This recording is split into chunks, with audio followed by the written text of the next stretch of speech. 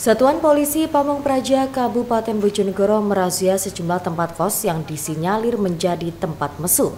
Dalam razia ini petugas berhasil mengamankan satu pasangan bukan suami istri dari dalam kamar kos yang berada di Jalan Lisman, Desa Campurjo, Kecamatan Kota, Kabupaten Bojonegoro.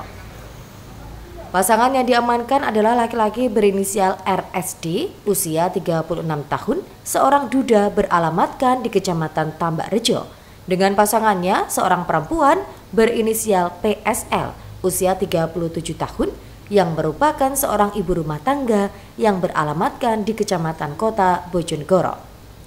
Mereka melanggar pasal 30 Perda 15 tahun 2015 tentang ketentraman dan ketertiban umum.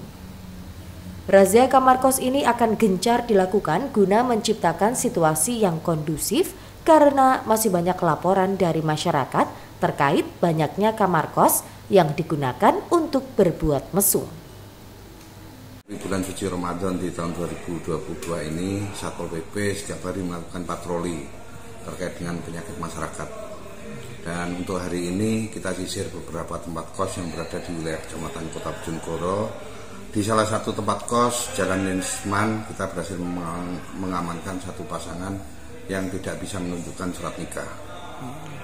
Selanjutnya yang bersangkutan kita bawa ke kantor, kita minta keterangan dan kita panggilkan keluarganya karena yang perempuan masih punya keluarga.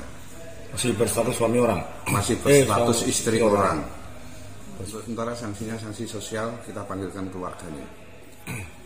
Untuk memberikan efek jerah, pasangan yang bukan suami istri tersebut diberikan binaan dan surat pernyataan untuk tidak mengulangi perbuatannya kembali. Samsul Alim, JTV, Bojonegoro.